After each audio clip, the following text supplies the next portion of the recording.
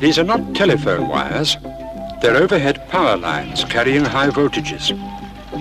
Without them, lots of people wouldn't have any electricity. So when you go out to enjoy yourself, play safe and make sure there are no overhead lines about. Watch out! Oh, God. Those wires are live.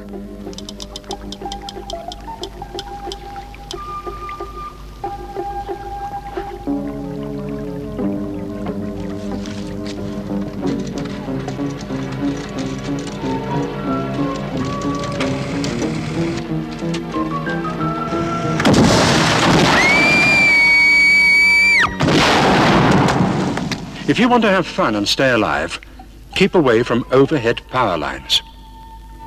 Then you know you'll be playing safe.